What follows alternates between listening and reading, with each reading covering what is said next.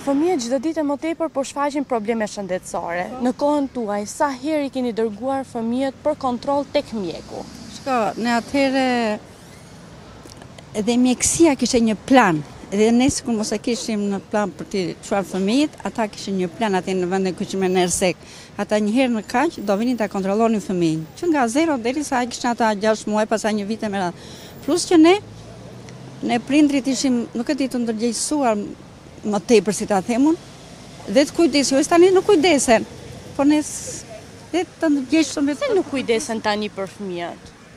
Shiko, unë vetë duke filluar nga kjo ana e përdorimit të këtyre celularëve këto më duket një shkujdesje për për prindrit. Ata për ta pasur fëmijën sa më qetë sa më shumë nga vetja e tyre, i japin celularin, i japin ato dhe të rrinë të qetë vetë kujdesen, po kujdesen në një mënyrë që nuk i bën mirë fëmijës. Fëmijët çdo ditë më tepër po shfaqin probleme shëndetësore. Sa herë në vit i keni dërguar ju në kohën tuaj fëmijët për kontroll tek mjeku? Edhe për më të voglin shqetësim, i merrshim në krahë edhe me vrap. A i kini bërë kontrolle rutine edhe kur fëmija nuk ka qënë smurë? Po për i defekt më të vogël që nuk shkonte ne edhe u interesojshim edhe shkoshim u kon kontaktonim me mjekun. Fëmijët po shfaqin probleme me shëndetin. Sa herë në vit i keni dërguar ju fëmijët për vizitë? Kam nipa dhe mbesa unë, dërguar kur ka qenë e nevojshme për t'i dërguar. Shqiptarët a i dërgojnë fëmijët e tyre vetëm kur smuren nëpër spitale? Është e vërtetë kjo punë. Po a duhet të ndryshojë ky mentalitet? Mentaliteti natyrisht duhet të ndryshojë. Gjendja shëndetësore e fëmisë duhet kontrolluar një herë në tre muaj të paktën, ose maksimumi një herë në gjashtë muaj. Në kohën tuaj sa herë në vit i keni dërguar për vizitë tek mjeku? Asnjëherë. Pse asnjëherë? Asnjëherë. Po kur kanë pasur probleme shëndetsore?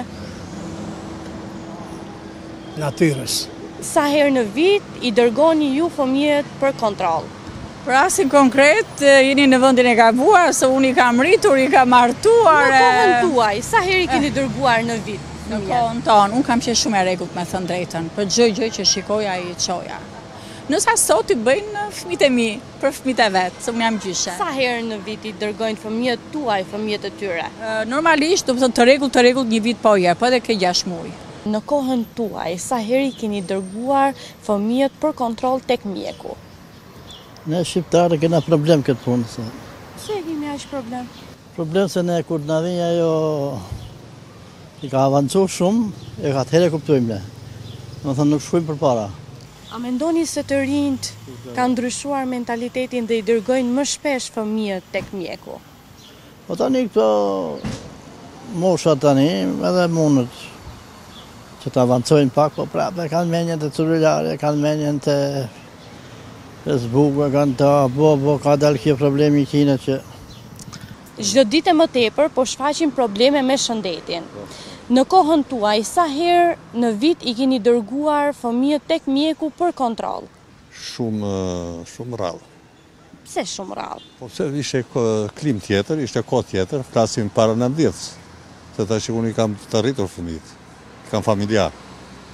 Po fëmijët tuaj tashmë sa herë i dërgojnë në vit fëmijët e tyre? A vazhdon të jetë ky mentaliteti që fëmijët të dërgohen vetëm kur janë sëmurë?